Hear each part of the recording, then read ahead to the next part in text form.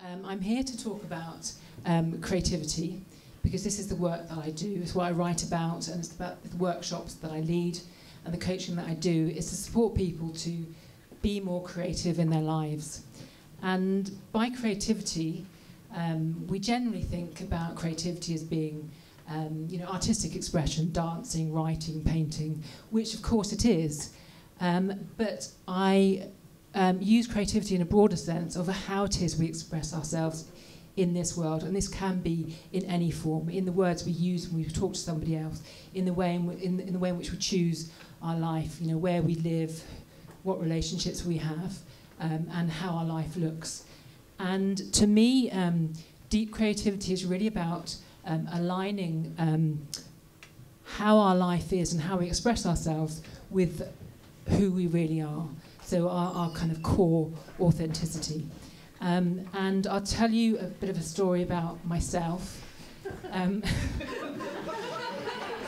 um, to kind of help you understand where I'm coming from with this.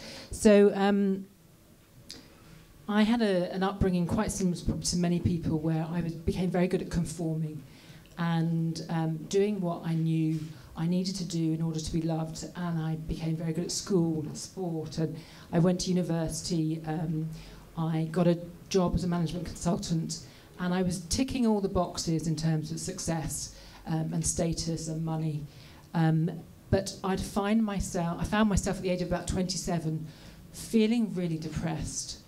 Um, and I would be sitting in meetings at work talking um, to clients about how to develop a marketing strategy, and I would sit there and think, what is the point of all this?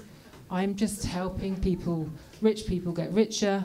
I'm helping myself get richer. I've got, you know, I've got the status and the, and the success that I thought I, I wanted, but I felt empty.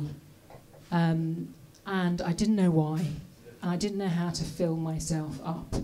Um, and that kind of took me on a journey, firstly through psychotherapy, and then I, I decided to go traveling to just get away from it all and hopefully find myself.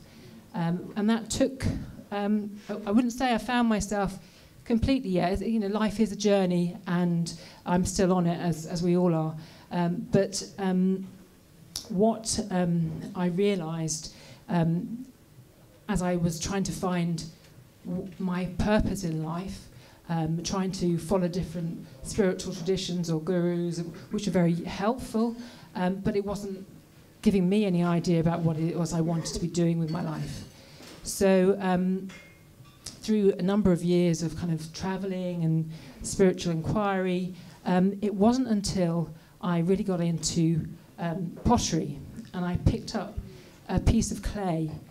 And as I worked with the clay, what I realized was the difference between the, the clay as a lump of clay and the clay as a pot or a sculpture was my input, how I pinched and moved it.